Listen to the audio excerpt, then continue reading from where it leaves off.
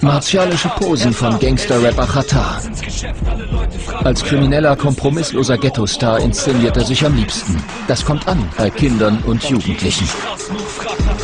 Gehen die alle auf YouTube und klicken den an und jetzt laufen alle mit seinen Liedern auf dem Handy herum. Millionenfach wurden Khatars Clips aus dem Internet heruntergeladen.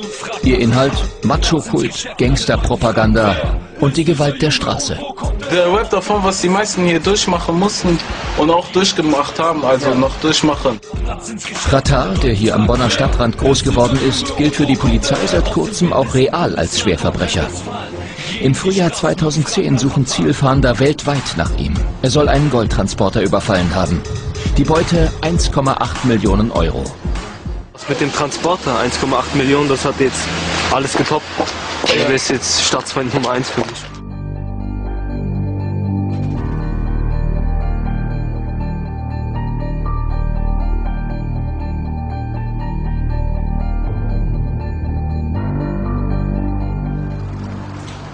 In dieser tristen Seitenstraße hat Rattar gelebt. Von hier aus startete er sein Leben als Gangster-Rap-Berühmtheit. Manch einer hatte ihm irgendwelche Nebengeschäfte zugetraut, aber ein Millionenraub? Keine Ahnung. Hier oben Bruserberg, wo Ja? genau, weiß man nicht. Okay. Und äh, wie sehen Sie das, dass er jetzt so auf der Flucht ist und dass er 1,8 Millionen geraubt haben soll? Das ist natürlich krass. Also, ich war selber auch geschockt, wo ich das gehört habe. Ja? Ja, klar. Hätten Sie nicht für möglich gehalten. In dem Ausmaß nicht, ne? Ja. Deswegen, aber ich muss jetzt auch wieder weiter. Okay, tschüss. tschüss.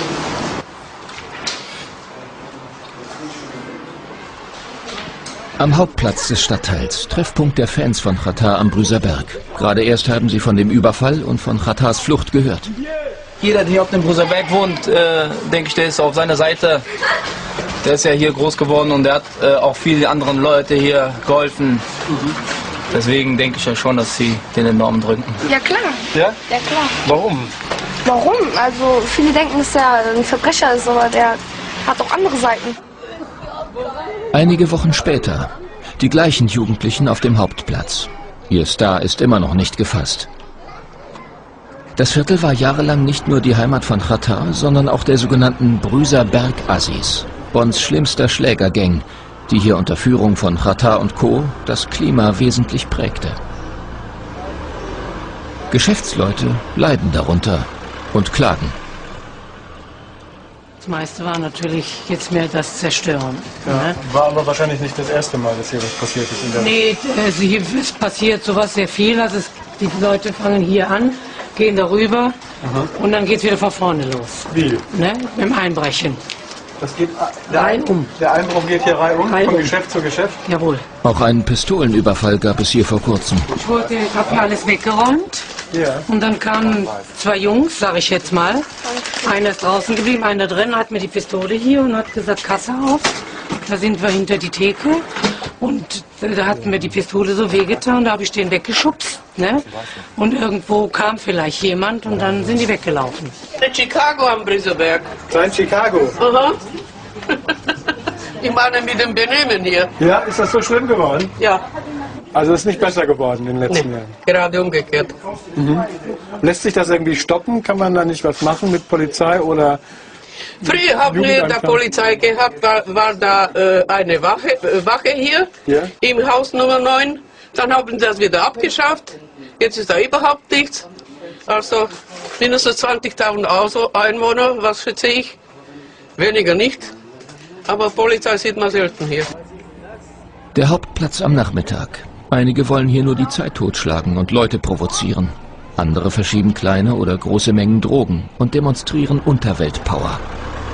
Die bürgerlichen Anwohner sind verzweifelt. Einige versuchen die Probleme zu ignorieren. Andere leben in Angst. wer hat denn hier wirklich Einfluss in diesem Viertel? Also wer bestimmt denn hier darüber, dass man nicht offen sprechen kann? Auch Sie wollen ja jetzt verdeckt bleiben. Ja. Es sind hauptsächlich die Jugendlichen. Also die, ähm, ob es jetzt egal, die kräftigeren, also die stärkeren halt, ne? Die am lautesten sind, die haben mir das Sagen. Gibt es denn keine Erwachsenen, die sich dann dagegen stellen? Nee, da hat man keine Chance.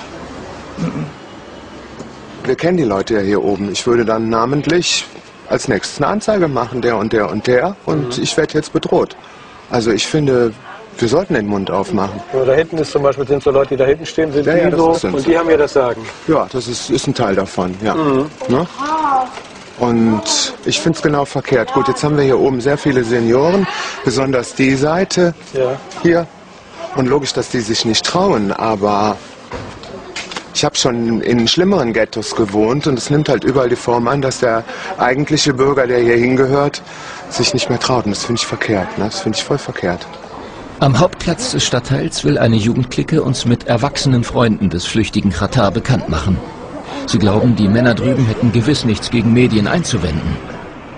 Schließlich habe Katar doch selbst jede Möglichkeit zum Medienauftritt genutzt. Aber es kommt anders als erwartet. Die wollen das nicht. Die wollen nicht mit uns reden. Was meinst du, warum nicht? Weiß ich nicht, aber auf jeden Fall, die haben so direkt so, ja, wir kennen den nicht und alles. Ich meine, die wollen dann so was, was geheim halten einfach. Während auf den Handys der Kinder wieder mal Katar-Musik läuft, kommt einer der Männer auf uns zu. Wir sollen gefälligst woanders drehen. Wir drehen über Katar. Warum über Katar? Ja, der hat doch hier gewohnt, oder nicht? Ja, okay, aber Sie können doch die Kamera nicht die ganze Zeit dahin hin zeigen. Wir, wir sind doch hier ja, auf den okay, dann Jungs. stellt euch dahin. Ja, Auch die jugendlichen Clique ist eingeschüchtert. Sie hatten wohl vergessen, wer hier die Regeln macht. Die Jungs haben aber viel zu sagen, ne? Die wollen sich ja nicht. Bitte? Was hat er gesagt? Ihr redet nicht, ne? Äh, nein, nein, die haben nichts getan. Die, die wollen nur nicht gefilmt werden. Achso.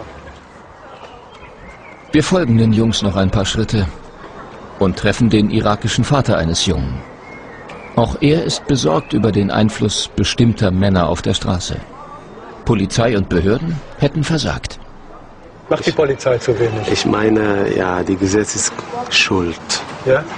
So lasch. Von hier, ja. Polizei sind, ja, wissen und gucken. Mhm. Aber passiert gar nichts. Und was ist hier? Gibt es auch ein Jugendzentrum und so? Die könnten ja auch. Gibt Jugendzentrum. Die könnten ja auch was machen, oder nicht? Und die Schulen.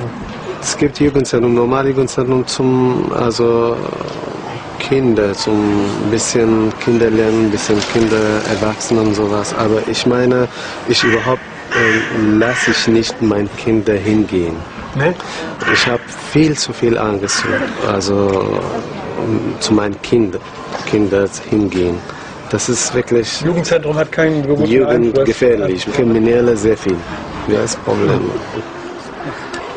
Der Vater meint, dass dann die Straße für die Kinder immer noch besser sei als das Jugendzentrum um die Ecke. Wir wollen das nicht glauben und bemühen uns dort um eine Drehgenehmigung. Khatar soll schon als Kind hierher gekommen sein. Doch wir erhalten keine Erlaubnis zu drehen. Ein neuer Träger hat gerade erst mit der Arbeit begonnen. Und das aufsichtsführende Jugendamt lehnt Stellungnahmen zu Khatar vor der Kamera ab. Von ehemaligen Sozialarbeitern der Einrichtung erfahren wir, dass Khatars Einfluss hier immer größer geworden sei. Mit dicken Autos sei er vorgefahren, habe Autogrammstunden gegeben und die Jugendlichen des Stadtteils sogar in seinen Videos mitspielen lassen.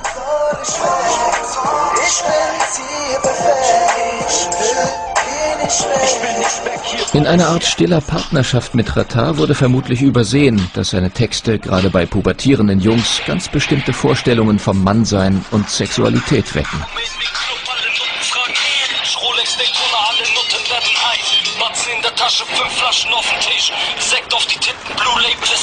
Es ist Ende April und noch immer ist Ratar nicht gefasst. Gerüchte gehen um. Er sei mit seinem besten Kumpel Sami in Russland. Für die Jugendlichen war Ratar wie ein Freund. Ja, wir haben den oft hier gesehen. Oft hier gesehen heißt aber nicht, dass man ihn gut kennt. Also doch, wir, wir haben den auch so öfters angesprochen. Autogramm und alles. Ja? Ja, und die haben eigentlich meist nett äh, beantwortet und alles. Ich habe auch sein Album. Ja. Sein Album, hast du gekauft? Ja.